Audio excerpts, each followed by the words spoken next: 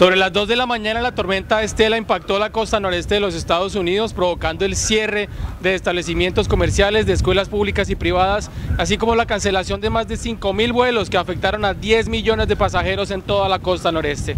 Algunos de los pasajeros tendrán que pasar la noche en los aeropuertos de ciudades como Chicago, Nueva York, Washington y Boston.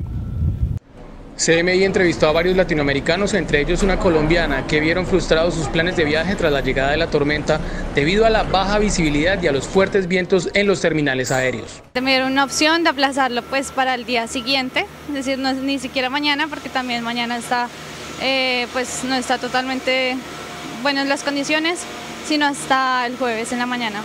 Sí, toca quedarse aquí en el aeropuerto, porque no, no tengo otra opción, así que toca esperar acá. Las calles de la agitada Nueva York, por donde diariamente transitan millones de personas, se convirtieron hoy prácticamente en un desierto blanco cubierto por una capa de nieve de casi medio metro de altura que paralizó el tráfico, los trenes y los barcos. Los estados afectados por la tormenta Estela fueron Nueva York, Pensilvania, Nueva Jersey, Massachusetts, Connecticut, Rhode Island, Maryland y la capital Washington, D.C.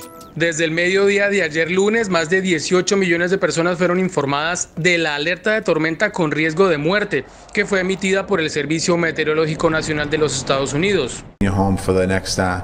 Until tomorrow morning if you can. Uh, it's still dangerous out there. It's gonna this is gonna freeze up now, and we're gonna be out there doing our road work. El impacto de la tormenta en la costa noreste de los Estados Unidos se sintió principalmente porque un cuarto de millón de ciudadanos se quedó sin electricidad más de 10 millones de personas vieron cancelados o aplazados sus planes de viaje en los principales aeropuertos, no hubo clases en los colegios para cientos de miles de menores y las oficinas públicas estuvieron cerradas. Con la cámara de Daniel Conde, este fue un informe de Rodrigo Torres Villamil para CMI La Noticia.